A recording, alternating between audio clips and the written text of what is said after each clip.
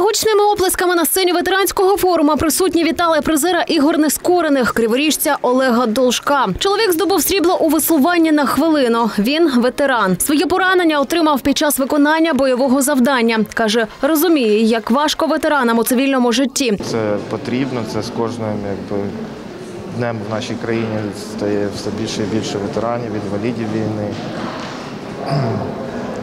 І я маю велике сподівання, що цей захід буде розвивати насамперед соціалізацію ветеранів, тому що дуже важко в наш час е, звикнути саме до людей, до мирного життя. Е, Ну, маю велике сподівання, що це буде не Вітали Назара Вознюка. Цьогоріч на іграх нескорених чоловік здобув чотири золоті медалі за плавання: одне золото і одне срібло у греблі на тренажері. Зараз він діючий військовослужбовець і проходить реабілітацію. каже, ще не стикався зі складнощами, однак вірить, така реформа значно покращить та спростить життя ветеранів. Як діючий військовослужбовець, я поки ще е, мало відчув е, всіх прелістей ходіння по ЦНАПам, по чергах, але дивлячись і слухаючи, наскільки потужно та динамічно розбудовується ця ефективна система, то розумію, що коли черга дійде до мене, я вже зможу ходити туди без гранати в кишені.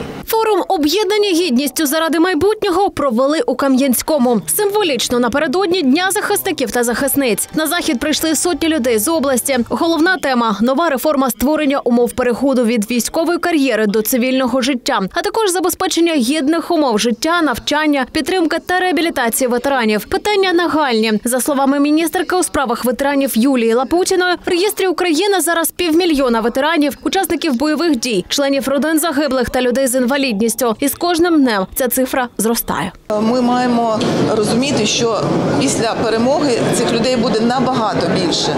Це буде е, біля 4 мільйонів людей дотичних до- ветеранської політики. Вони мають бути інтегровані в громади. Вони їм нам потрібно надати всі інструменти для власного розвитку. По-перше, це здоров'я, ментальне, фізичне, а потім це працевлаштування, це е, освіта цивільна, це можливість е, бути активними членами громади. Наразі в уряді запроваджують підтримку ветеранського підприємництва. Зокрема, Українсько ветеранський фонд видає гранти на бізнес для ветеранів. Сьогодні вже є більш ніж 300 переможців, які мають можливість відкрити власну справу, а також створити нові робочі місця.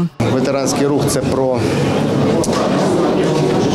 про те, що е, вони постійно повинні е, відчувати підтримку держави в першу чергу. І моє особисте переконання, що е, саме конкретними справами тільки можемо зробити те, щоб люди це відчували. На Дніпропетровщині це приділяється досить велика увага. Сьогодні це тільки перша зупинка форуму. Далі поїдуть по інших регіонах країни, аби обговорювати кроки розвитку нової ветеранської реформи.